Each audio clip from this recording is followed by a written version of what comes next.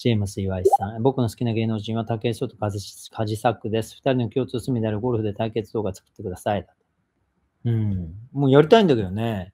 なんかコラボしようよって言っても、カジあんまり連絡してこないんだよね。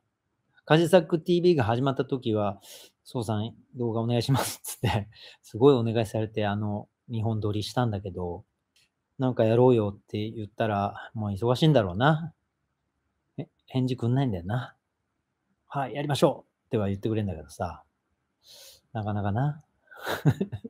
カジサックこの野郎。連絡してこいよ、この野郎。おい。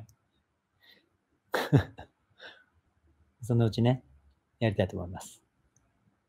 え。連絡してこい、この野郎、カジサックこの野郎。